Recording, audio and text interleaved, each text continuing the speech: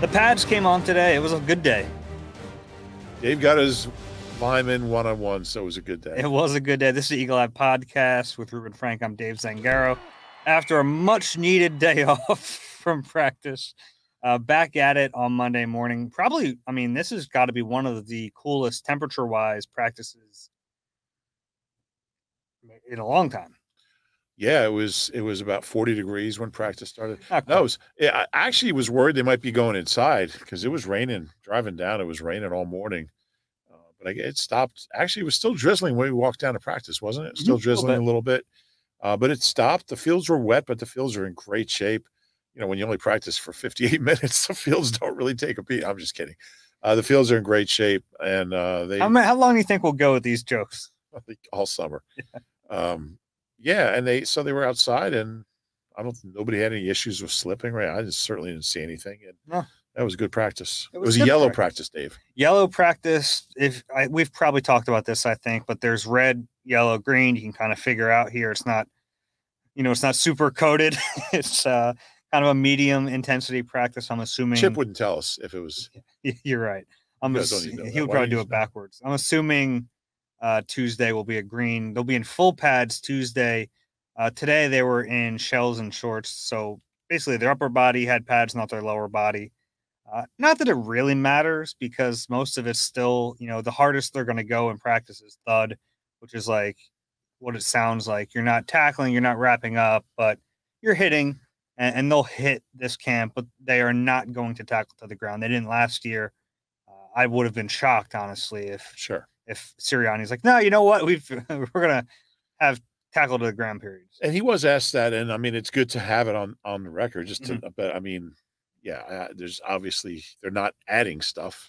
Yeah, and that's so. Uh, we've talked about like practice schedule a little bit before. To me, that's the one that I've heard from most former players that would bother them the most, or they think what they're going to miss the most is they don't hit enough, and like the first time you tackle for some of these guys is going to be week one.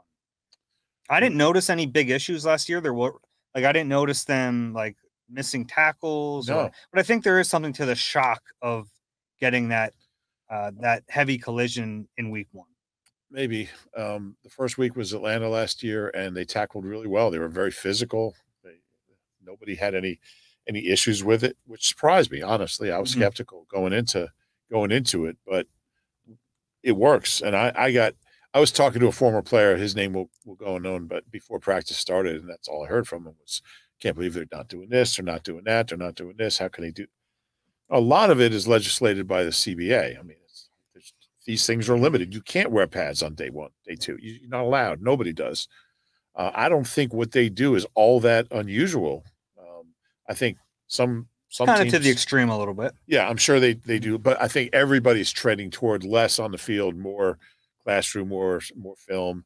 Uh, I, I just think that's the way the league is going. And look, there's a salary cap, and you don't have unlimited players, and uh, you got to keep guys healthy. And this seems to be a way to keep them healthy, but also get them prepared. And everybody's trying to find the right balance of that. And I think Nick had that last year. When you look at the way they finished the season, six and one be- before that meaningless Dallas game, uh, it, it certainly worked. So, uh, I mean, look, I still have a little skepticism about it, about not tackling to the ground, about the the length of the practices. I think they are very efficient when they practice.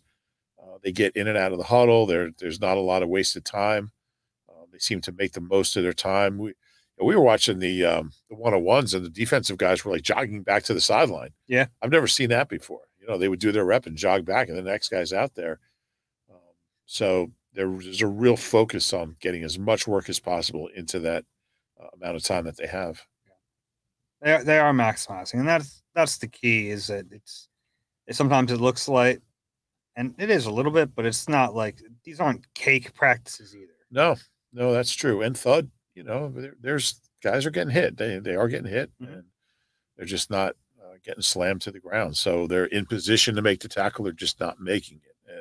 You know, you can see them out there focusing on tackling form and being in a position to make the tackle and, not making it. Uh, I'll tell you what. Uh, how long were they out there today? An hour, Hour fifteen an hour fifteen, right? with the developmental period. Yeah, I mean, we've seen coaches that practice for two hours and 15 minutes and probably get less out of that practice then. Mhm. So, you know, so it's it's not really how much time you're on the field, but what you're getting out of that time. Yeah, absolutely. You want to go through some observations? Let's do it.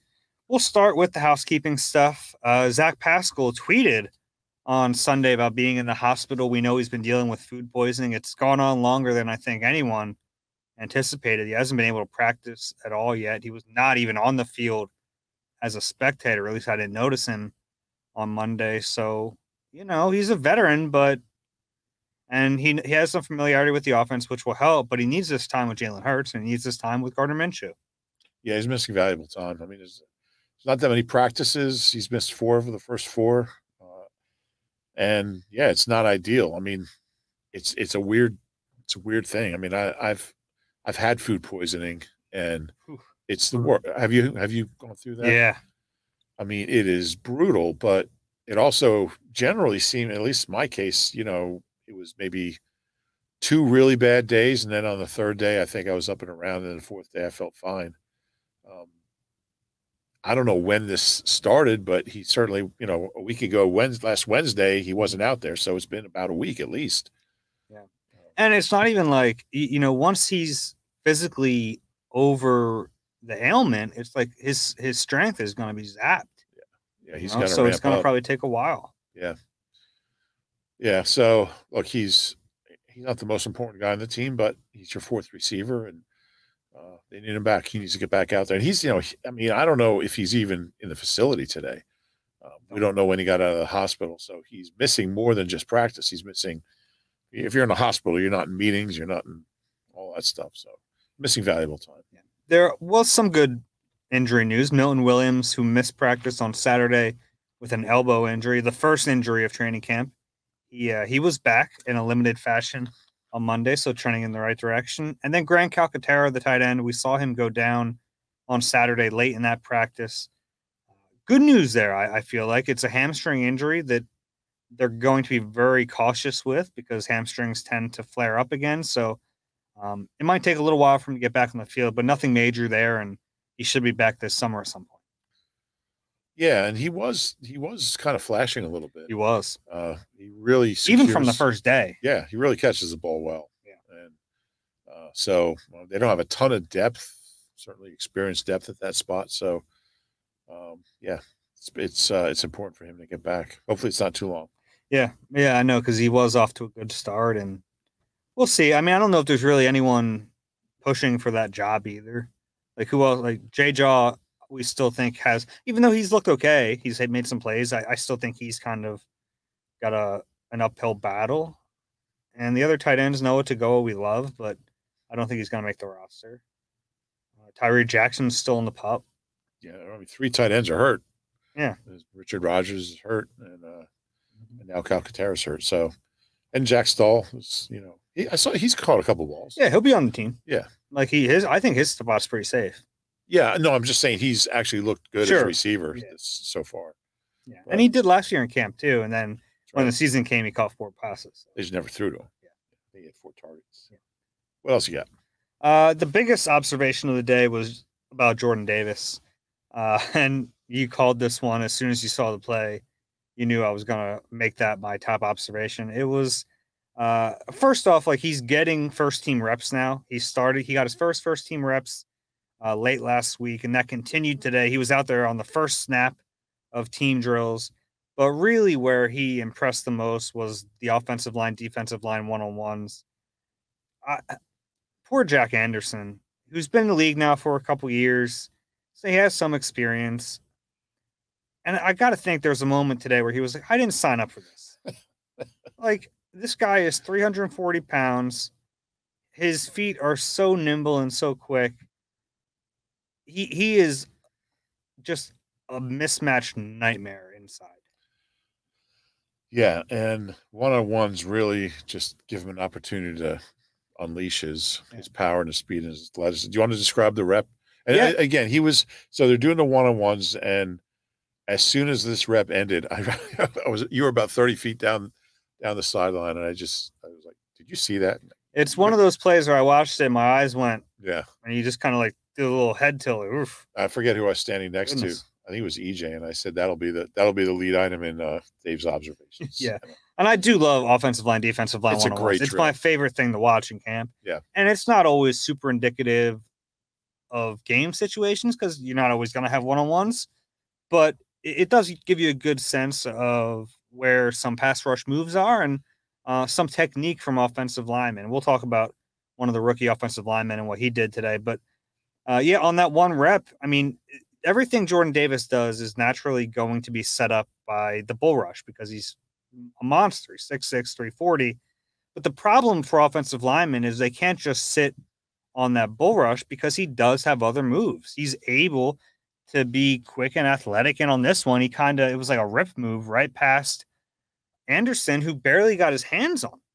I mean, which is insane to think about. You can't get your hands on, and, and I'm not even ripping Jack Anderson here. Yeah. I mean, that it was it was more Jordan Davis winning it than Anderson losing it. But it's like, how is it possible to not get your hands on a 340 pound man going through the middle of a of an offensive line? It's because he's that quick. it was just pure explosion. Uh, it, it was, I was in awe. Uh, you you don't see that like Mhm. those those one on one drills. You know they're generally really competitive, and uh, you know it- you don't really have like you know first round TKOs in that Yeah. drill. Uh, he just exploded past him, and it's like Anderson just like didn't he just didn't know what to do, Yeah. and he didn't. And look, it's Jack Anderson, so you know you take it for what it's worth. But it was it was pure explosion and it was impressive as hell. It was fun to watch. Davis didn't get any of those one on one reps against starters. Right. Obviously, that we'd like to see that. Kind of wish Brandon Brooks was still playing because that would be a lot of power on either side of that. Um, but we'll see. He did get a rep against Cam Jurgens, who definitely held his own more than some of the other guys. Cam Cam looked good in those drills. He did. Let's talk about that a little bit because uh, he gets com- Let's just finish on Jordan. sure. Um, he had, I think I forget who his first rep was was against, and it was, it was uh it was okay, but then he It was reeled- Sills. Yeah, you're right. You're right. Um, then he had a succession of of like four straight. Now none of the other ones weren't as one Dramatic, sided yeah. as that one, but they were all impressive. And uh, He went against Cameron Tom, the new center, which all right. Um, Yeah, Jack Anderson, who has some experience, he he had a good rep against against Kayode. Kayode, Yeah. Awosika, who is a fairly good player. Yeah. Um, I, I was impressed by him today, and even in he's starting to flash. I don't want to just single out the one on ones, but he's flashing in in team too. He's clogging up the middle of that defense, and he looks he looks like he belongs out there. Yeah. Yeah. Today was the first time I, I found myself saying, Oh, okay. Now I see what they saw in him. Mhm. we knew he was huge, but seeing that quickness was, uh, it was shocking. Yeah, it's a good sign too that on the first day of pads we're talking about how flashy the nose tackle is. It's it's a Yeah. rare, you know, uh, you think of he's just redefining that position for me at least. Like when I think and, and look, I know there've been you know good nose tackles and nose tackles that can rush the passer. I mean, we've seen like Vita Vea in Tampa Bay is just a monster. He's super strong. But Jordan Davis is like the quickness aspect of it. Like I think of nose tackles, I think like Beau Allen, you know, who's a good player, but not this naturally gifted. It's it's gonna be fun to watch him the rest of this training camp. Yeah. I can't wait till the next one on one drills. Yeah. It's fun to watch. Yeah, that's uh a must see TV right there. Yeah. Uh, we we started talking about Cam Jurgens a little bit. Um, he he he held up quite well in those one on ones. The thing that strikes me is he he gets compared to Kelce because they're both undersized and they're athletic. And I think when people hear that they're both athletic, they think about um, second level blocks and getting downfield and pulling, and all that's true. But you still have to block the line of scrimmage. And what Kelce has become so good at, and he still has trouble with some bigger nose tackles. And Jordan Davis even said he, he's worked with Kelce on that.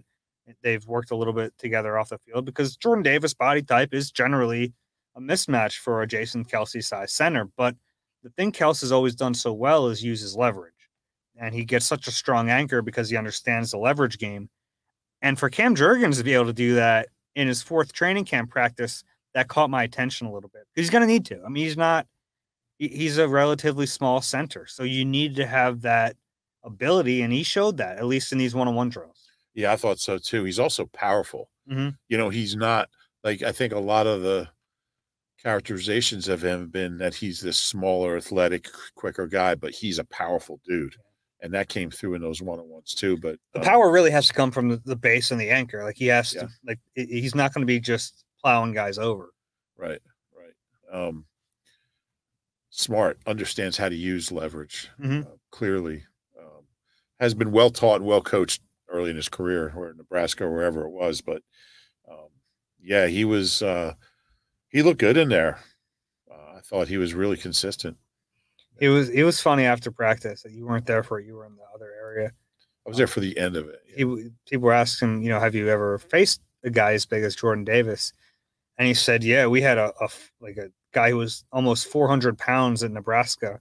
Like, did he move that well? He's like, oh no, not like that. like, yeah, I bet he didn't move like Jordan Davis. If he did, he'd be drafted in Yeah. the first round. Uh, Jalen Hurts.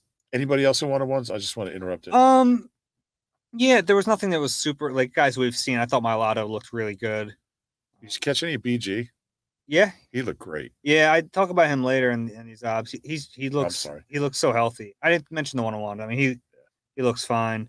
Uh, Mailata was able to really stand. So for Mailata, the the guys who have always been his like size matchup problems are smaller. Like remember him working with Joe Ostman every training camp, and there would be times where Joe Ostman's like whooping this dude. You're going, oh, I can't- this Mailata might not be cut out for this, but uh, he ended up being fine. Uh, but that body type is giving him some trouble. So I, I saw him with some really good reps against Josh Sweat. I saw him get uh, Tarron Jackson to the ground. So those plays and like him going against smaller ends who, you know, once he gets his, his hands on them, it's done. But sometimes those quick guys have given him issues in the past. But the one on ones today showed me he's gotten better at that. Yeah, I would agree with that. Anything else from one on ones you saw? Um, no, Okay. no, it's a it's a great drill. I wish I wish people could watch it. Yeah. Yeah. Sometimes, every once in a while, that'll be in a shooting period. No.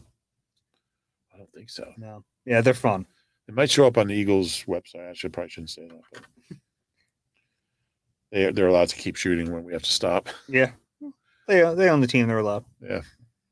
All right. Uh, Jalen Hurts. Thought he had a good day. Not a not a like a Spectacular day. but- spectacular day, but I think that was more of a, a reflection of what they were working on today. Th- There weren't a lot of deep shots. I thought it was a lot of underneath stuff, and he hit his guys. I mean, there were a few misses for sure, and we'll talk about one of them later. But uh, there were two throws I wanted to highlight that were impressive to me. One was a slant to AJ Brown, hit him in stride, coming across uh, toward the the right sideline. And that's important to me because AJ Brown is a big YAC guy. Once he gets the ball in his hands, he becomes kind of like a running back, and he's a really powerful player in in that way. So, um, a big play to AJ Brown. This is kind of a staple of what Sirianni wants in his offense. He's he's always talked about this. Like big plays don't mean necessarily downfield throws. They can be, you know, a ten yard slant, but it's really important that Jalen Hurts hits these guys in stride. People who listen to this podcast are probably tired of me saying it, but hitting a guy in stride is so important for this offense, especially when you have players like AJ Brown who do it really well.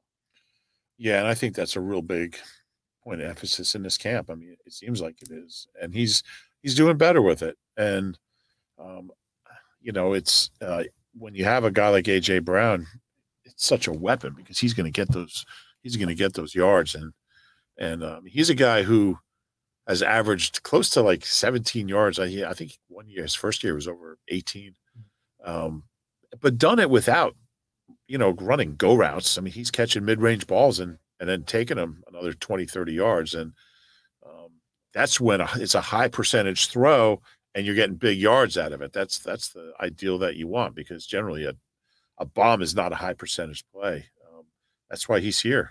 And you know, AJ Brown's got the most most 30 yard catches in the in the NFL over the last three years, or 40 yard catches it is. Um, those balls weren't all thrown 40 yards in the air. Most of them probably weren't. And if they can, if they can build on what we saw today and master that, uh, he's going to be such a weapon. Um, because there's no reason Jalen can't make that throw. Mhm. And we saw it today. That was good to see. Yeah, another one was to Boston Scott. Boston lined up in the slot, uh, and it was a quick play. The Boston slot. Boston slot.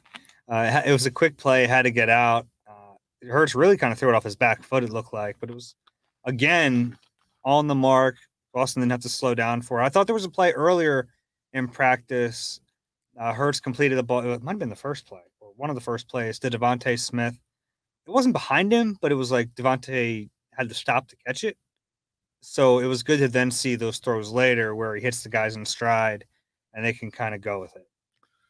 I just thought it was good for Jalen. Like he had, he had a really good day the first day.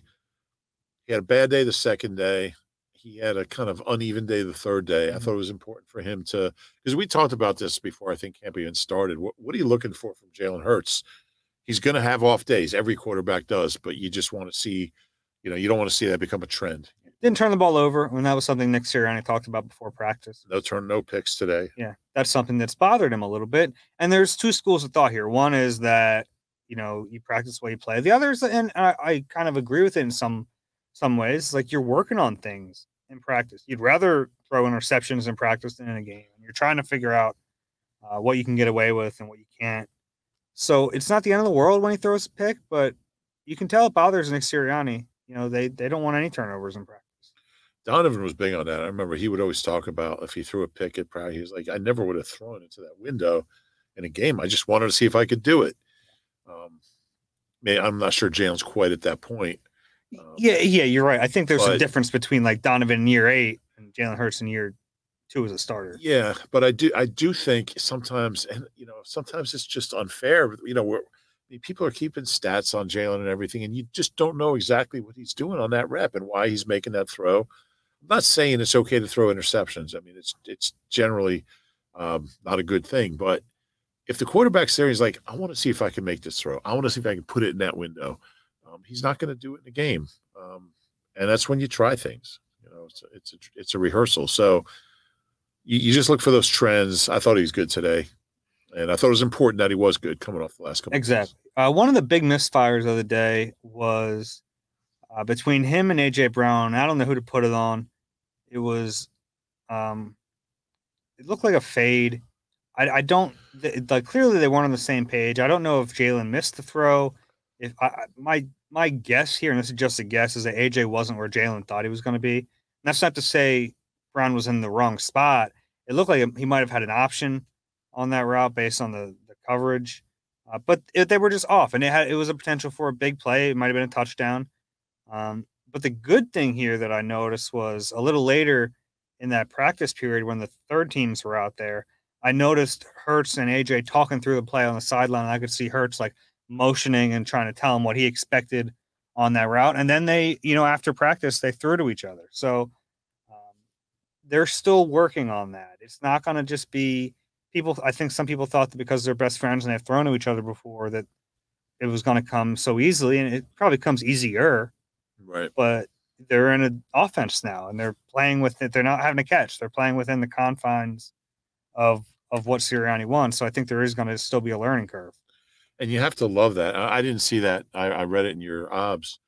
You have to love that there that that kind of communication is happening. I mean, we, we've seen quarterbacks and receivers who don't have that kind of relationship where, you know, they have that trust to go over. Look, I should have done this. You should have done this. It, it wasn't about whose fault it was. It's about here's what I thought you were going to do. Okay, here's what I thought you were going to do. Let's figure out. You know, next time it won't happen. And that that's great to hear. and Great to see. Uh, Gotta have that.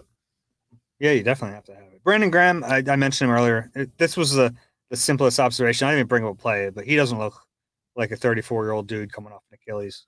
He looks great. He looks great. He looks great. And he's always been a good practice player because he's, you know, super energy and all that. But you always wonder, like, we, none of us were doubting him, but I think there were just natural questions about is this dude still going to be as fluid athletically as he's been before? yeah.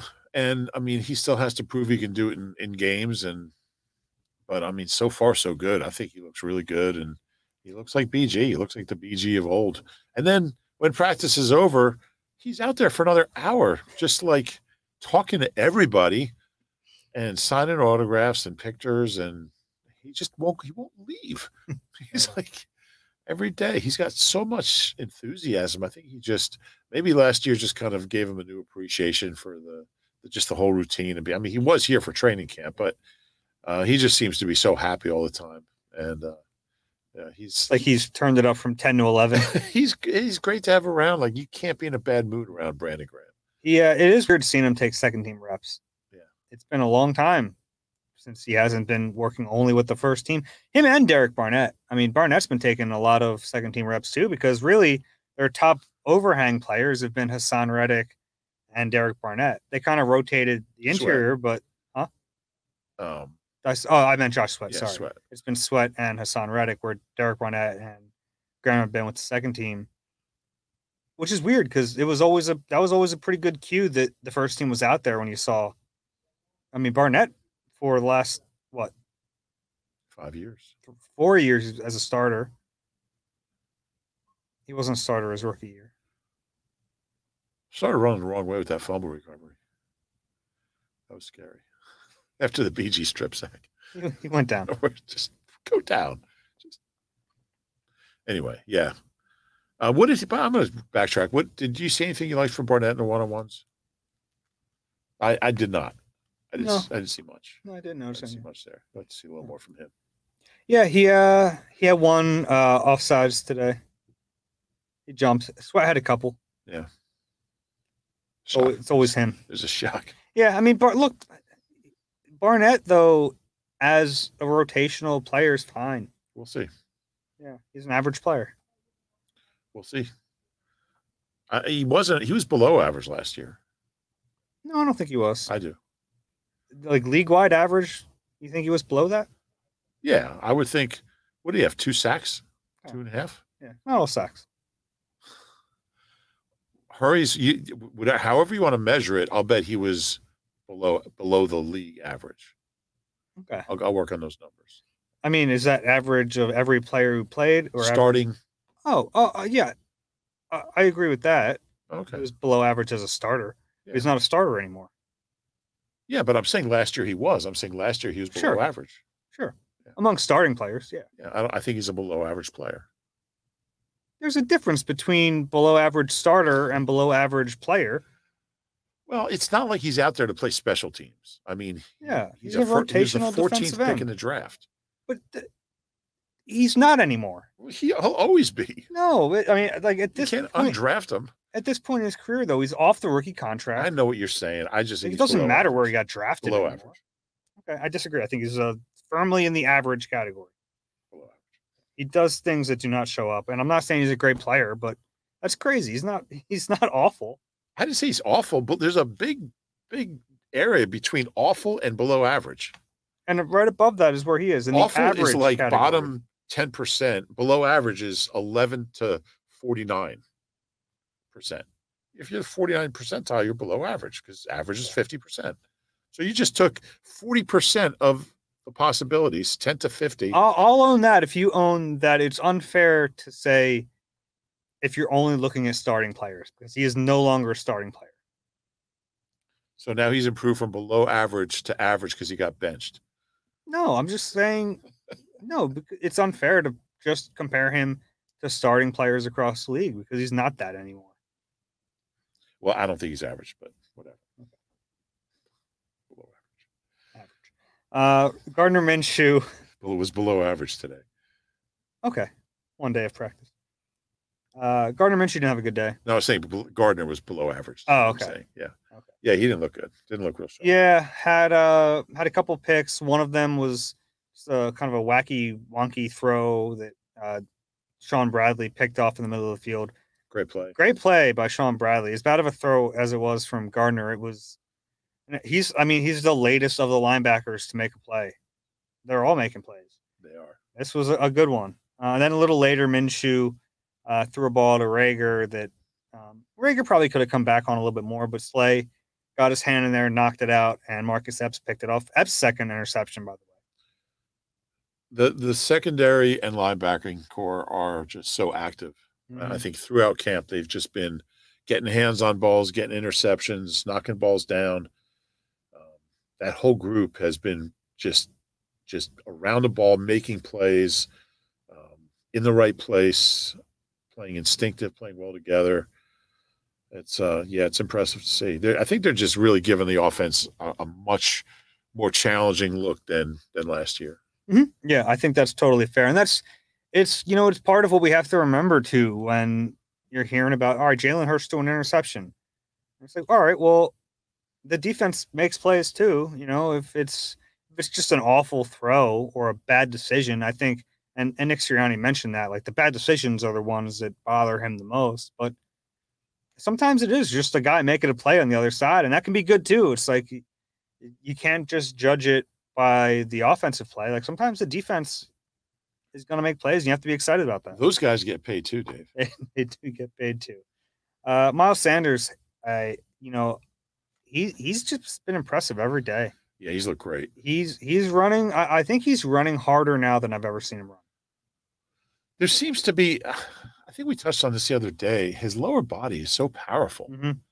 um, and when he runs, he's just like thundering down the field. Yeah, And you know, those the, all the backs are finishing every play into the end zone, Mm-hmm. And uh, yeah, he he looks great. yeah. We talked about like the you know second team gate from the other day. Second team gate. Uh, it felt like he kind of manufactured a little bit of chip on the shoulder there, which whatever you know, Whatever it takes. whatever it takes. He's he's running hard. He's been fun to watch. Yeah. Um, Nick was Nick was adamant about he's he's our guy, and I think that is the plan. Yeah, it has to be. They don't really have any other options. Not to not to be the bell cow. Um, I'm really curious to see what his workload looks like. Mhm. You know, once this starts, we know they want to throw a lot more than last year. I don't know if that means you know six to eight passes more. I don't know six passes more, but um, I just think he needs he needs you know 15 touches. I'd like to see him get that. Yeah.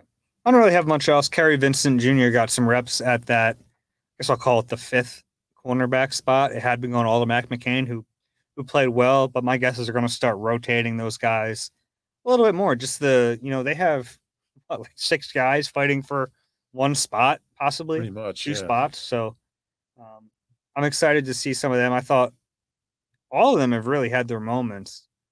Kerry Vincent had early. Tay Gowan on Saturday had a big pass breakup. Mac McCain has looked good. Jimmy Moreland has had his moments. Josiah Scott, like all these guys are making plays. That's one of the the strangest position battles we've seen because those top spots are so locked up. Yeah. Even four deep, they're locked up because Zech McPhearson's going to be on the team Right. but they, they have so many talented young players that you know any two of them or one of them could make the team.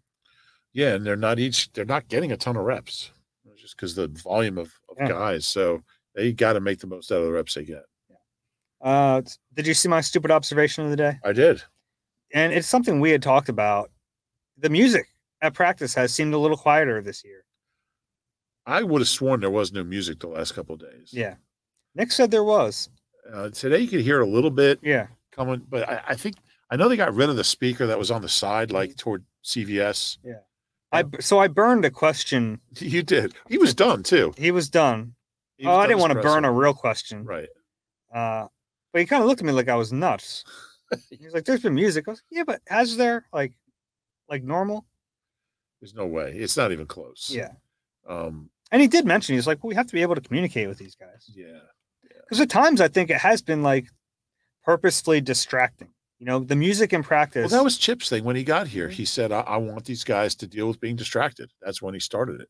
Yeah. And I've talked to players who And say then Doug like just kept it because he kept everything chipped. in. sometimes it's tough when it's a song that like you want to kind of like sing in your head or like mouth the words to, um, and you have to focus on the play. So sometimes it is used purposefully. It's not just hey, we want to listen to something while we work out. Yeah, I, I always had that problem when Wilco came on at practice. I would always The, very rare occasion when. Connor stole the. I was, Stole the was talking to Connor today. His his concert was a huge success. yeah, They made a lot of money. awesome. Yeah. Yeah. It's you know it's funny because Japanese breakfast, Yo La Tengo.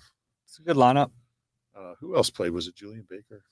Uh, Yo La Tengo. Have you ever seen Yo La Tengo? Never seen them. I, um, I am a fan. Amazing live band. Uh, Connor Barwin, we're talking about, by the way, if anyone missed that. Make the World Better Foundation. Still doing really good work.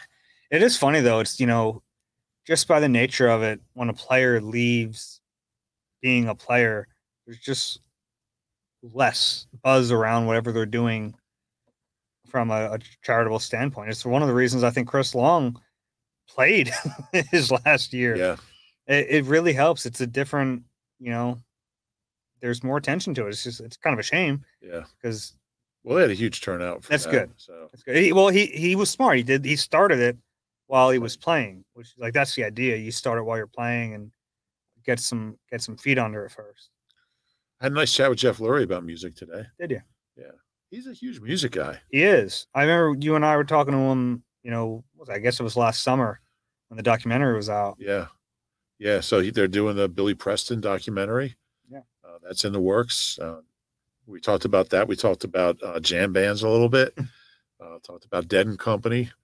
Uh, he He, asked me. he what- said he wanted to see Dead and Company. Yeah, yeah, he did. Um, he he asked me what concerts I've been to over the summer. I my you like had a you had like a roll. Well, I was trying to think of like who I've I've seen that he would have heard of. So I like I, don't want to sit there and name uh, all these Yeah. obscure bands that he doesn't know. So I told him I'd seen Lucy Dacus and uh, Sharon Van Van Etten. Talk about Jeff Lurie, by the way. I don't know if we mentioned. Jeff Lurie, yeah, owner of the team. Yeah.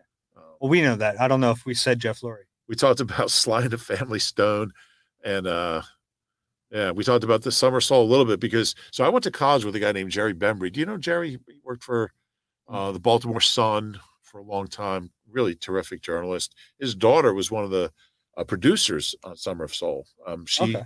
arranged a lot of the interviews. Actually, did a lot of the interviews with the with the artists. Um, so we were talking about about her. She won. She won a what, what are they? Uh, Emmys. I don't know. Oscars, Grammys. I don't even know which. For movie. It's an Oscar. uh, Oscar. Yeah, I don't know. I don't. I don't follow. I don't. I don't watch award shows. you don't have to watch it to know The Tony Award, the biggest. Pulitzer. yeah, I don't know. was, it I was don't a know one Pulitzer, from the yeah. other, but but yeah. So uh, yeah, big uh, Jeff's a big Sly and the Family Stone guy. So, uh, but yeah, it was good. Good seeing him out there. Uh, anything from the media sessions that really stuck out? You talked to Nick Rallis today. Yeah. Yeah. Interesting guy. They uh, they all kind of all the other coaches rag on him for being so boring.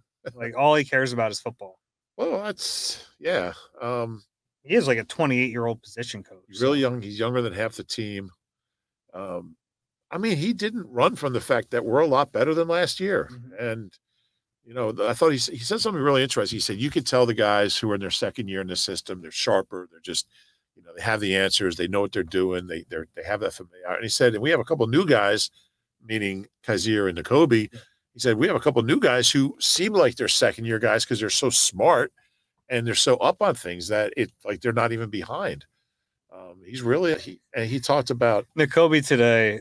Sorry to cut you Yeah. off. Nakobe today was asked about the difference between you know preparing for football in college versus the pros, and he's like, "I don't have to go to class anymore. I don't have homework." I was like, I don't know if that's a problem for a lot of these other guys, but for Nakobe, that was thinking a that. big issue. Yeah. I was thinking exactly what you just said. a lot of those guys that. majored in football. I know. Like, yeah, I don't have a term paper to, to work on tonight. I don't have a science experiment. Yeah, he's a sharp he's a sharp dude. But he he uh he was really raving about um Davion, Davion. I always say his name wrong. Davion. I Um, never call you on it. I know. I let it go. I know. You think it. I do. Think. I judge you very I silently. can tell. Davion. Um, I pronounce everything wrong. That's why I'm never on the radio. but uh, really raved about how far he's come from last year and just how, how much more comfortable he is, how much he understands the defense. Uh, talked about TJ and, and how much better he's playing. He, he is. I mean, he's All the linebackers look good. all of them. It's unbelievable. Yeah. Yeah. It's, It's so strange. it really is. It's Doesn't just, feeling real. I, I just don't know. I mean, when's the last time they had two? I guess, I mean, I guess in 17 with, with uh, Hicks and Kendricks and, And Kendricks and Bradham. and Bradham. and yeah. Hicks got hurt. and Hicks got hurt, but that was a pretty good group. They were all also older. Mhm. It was an older group. Um, Hicks was still young. Well, what year was Jordan uh, drafted? 15. 14, 15? So he was a third year guy. Uh, but this is, uh, I mean, this is the most depth. I, I've been doing this a while. This is the most depth, maybe the most depth of linebacker they've ever had, ever. I mean, they have four. If if Davion can, and he's been terrific. If he can keep it up, they have four. Even you know Shaun Bradley as a five. yeah, I know. I like Shaun Bradley. I know he makes plays, doesn't he? Yeah. He's fast.